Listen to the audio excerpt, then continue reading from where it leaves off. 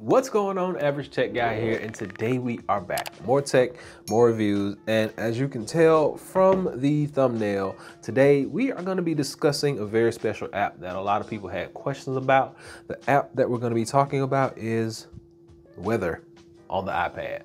So let's go.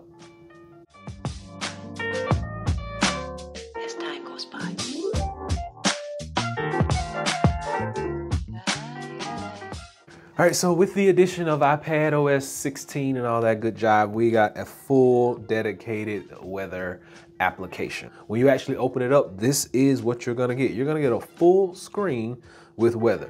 Now, don't let this fool you because you do have options.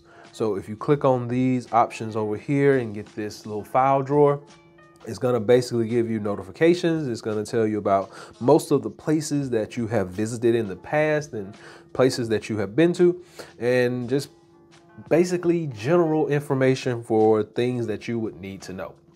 So over here, my location, then you got Stockbridge location, which these are areas that I go to a lot.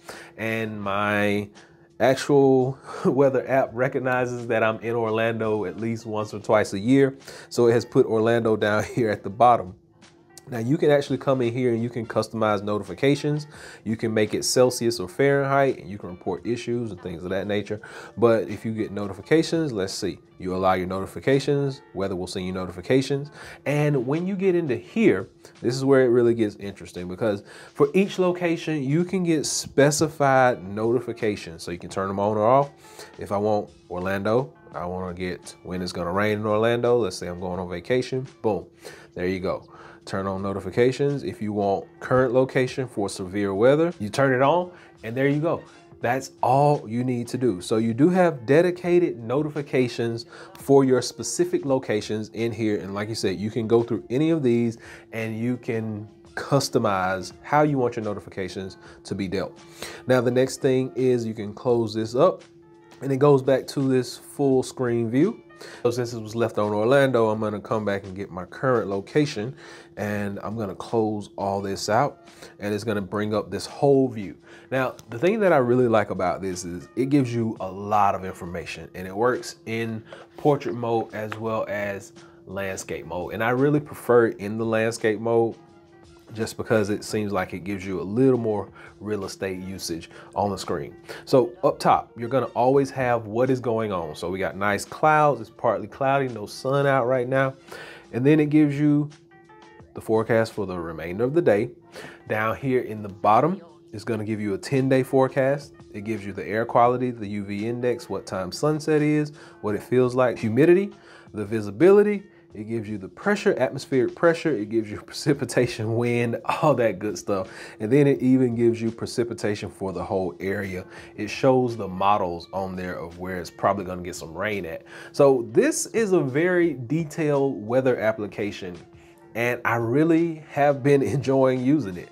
Like the fact that I can now just hit this on my iPad and get everything that I need and I don't have to, uh, a lot of times I rely on Google. So to to have this on my iPad because a lot of times I don't have the Google stuff downloaded on here. I can just hit this, get what I need, get a forecast, get an accurate forecast, and this thing has pretty much been on par uh, since I've been using it for a week or so. Now, one of the biggest questions that people had though is, can you have this on an external monitor and be doing other things on here? So that's the next thing I'm gonna show you because if you can see, you plug this up to an external monitor and you can actually have this screen on the external monitor as you're doing productivity type stuff or as you're watching videos or movies and things of that nature. You can just basically go all out.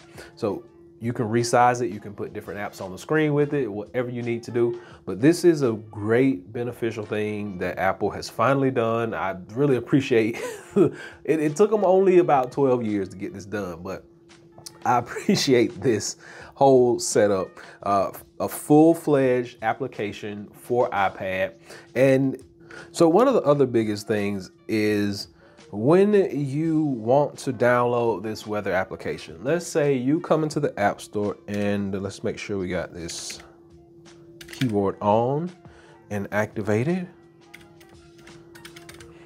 Type in weather And this application and this application come up. All these weather things, these three weathers, they're gonna come up.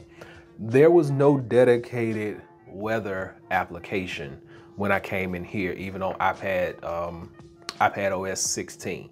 So what I had to do was go on my iPhone and share the weather app with my iPad, and then it gave me the full weather. This one is like a paid subscription type thing. It looks like weather, but it's not. has a dot behind it. This one has a, a comma or something like I don't know what it is, an apostrophe has something. But these are not official weather apps. So the official weather app, I had to share it from my iPhone to my iPad. That's how I was able to get it to work. But once you get it on here, it works seamless. There are no issues. So hopefully this has been able to help someone out. I did get a lot of questions about weather app, how it's working, how it looks. It's gorgeous, it's beautiful, and that's what Apple does. They kind of sit back and watch things and then they implement and this is what they've gotten. So I like it. I think it's something that should have been done a long time ago, and I really appreciate them finally going ahead and doing this. Now, if we could just get an Apple Watch app for this, that would be perfect. That's what I would much more appreciate than this, but that's neither here nor there. Hopefully this has been able to help someone out, and until next time, be sure and give me that big thumbs up, and please subscribe. Average Tech Guy out. Peace.